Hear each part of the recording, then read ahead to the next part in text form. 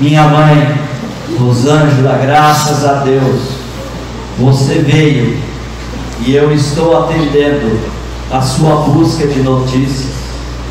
Só não estou 100% porque a saudade é uma torcida que vibra em meu peito.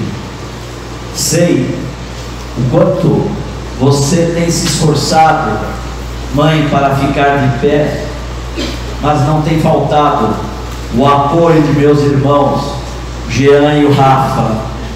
Meus irmãos me deixam tranquilos em assistência a você. Mamãe, estou com o vô Análio que envia a você um grande abraço. Estamos fazendo parceria aqui na no, no novo campo da vida. Penso que a vida escapa de nossas mãos e achamos que podemos totalmente controlar ela. Mãe, posso lhe dizer que não vim antes do tempo. O que nos parece inexplicável, com circunstâncias adversas, foram apenas o jogo da vida que me chamaria para o outro canto da quadra. Compreendo suas questões de mãe e de que o primeiro atendimento médico pudesse sanar a minha reclama, reclamação de dor peitoral. Mas não pense que pudesse qualquer ação mudar o meu quadro. Não, eu viria de alguma forma, porque era assim que meu contrato de vida estava demarcado aqui. Apesar de tudo, de tudo, e claro, trouxe atribulações para mim e família, e os amigos que sentiram a minha partida, eu cheguei em seu ventre que me acolheu, mas o mesmo ventre que, a que me acolheu e se fez cama para mim, seus ombros de mãe, seu colo maternal, foi onde o meu último suspiro no corpo se fez. Acordei deste lado com a sensação de que suas mãos me protegiam. Pensei estar em alguma enfermaria aí mesmo, mas depois fui orientado do que o coração não aguentou e eu acordava em outras paragens. Mãos amigas souberam me abraçar, porque não contive as lágrimas ante a realidade que eu vivia.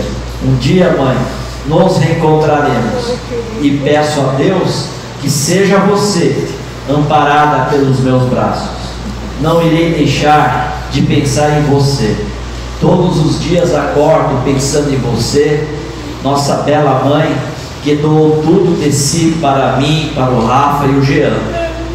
Que os músculos da fé fiquem mais rígidos em nós, pois que por mais corpo sarado em dia, somos frágeis em nós mesmos. Vou seguir e vou caminhar para novos aprendizados. Abrace os meus amigos, que sempre me dedicaram atenção e que de alguma forma sentiram a minha ausência. Abraço forte aí. Ei, mãe, você, mãe, seu filho, Rick, Ricardo, Trintini Guerra.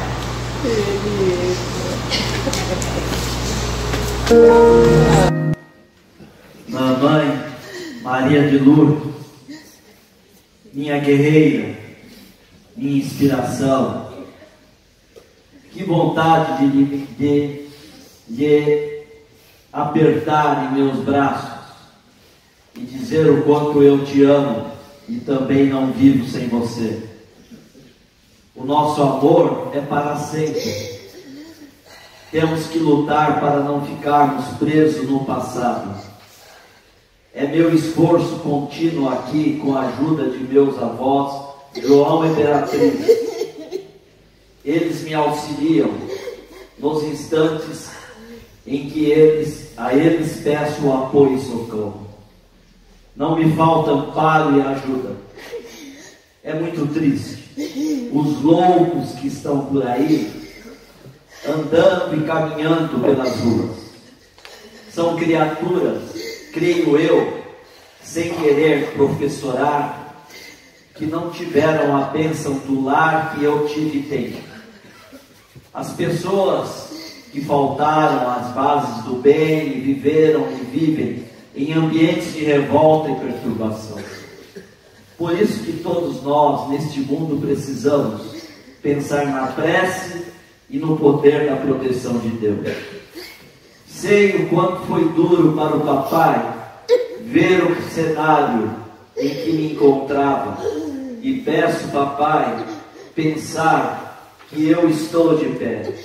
Não sou o filho combalido no veículo após o disparo de um doente e desequilibrado. O que pensar nesse instante em que somos de surpresa abordados? Pai, sabe que não iria reagir, nem você, mãe. Apesar do corpo talhado na academia, não iria jamais atrever em ser um super-homem.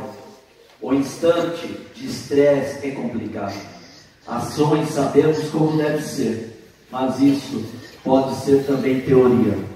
Mas estou aqui para deixar paz em seus corações e que a vida deve seguir com novos projetos. E desejo agradecer a Sandra pelos livros que foram encaminhados à Mamãe Maria de Lourdes e que traziam luzes e esperanças. Meu eterno agradecimento, pois estes livros são remédios. Aqui tem muito o que fazer.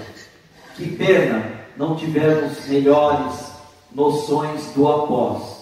Mas aqui tudo seguirá e serei eu mesmo no bem que precisamos sempre fazer. Deixo minhas recomendações e abração ao meu irmão Guilherme, o nosso Gui, que diz que ele seja muito feliz apoiando um dos meus velhos. Mãe, daquele jeito, com a mão no peito, o coração de amor para você. Mãe, eu te amo.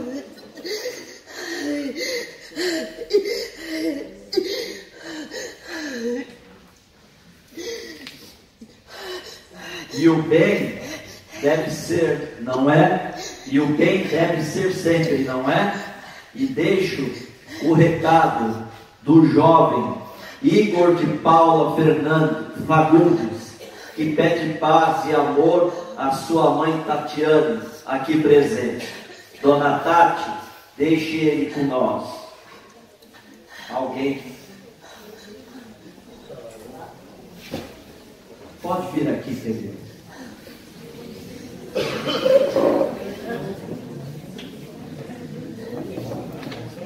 Seu filho já fazendo caridade. Até lá.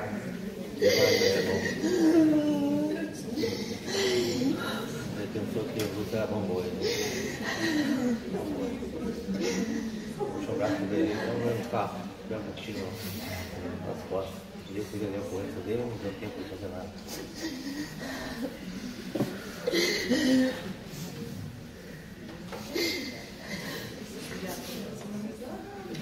Repetir. E o bem deve ser sempre, não é? E deixo o recado do jovem Igor de Paula Fagundes, que pede paz e amor à sua mãe Tatiana. Aqui presente, Dona Tati, deixe ele com nós. Então, seu filho está já trabalhando e ajudando. E acolheu o filho da Dona Tati.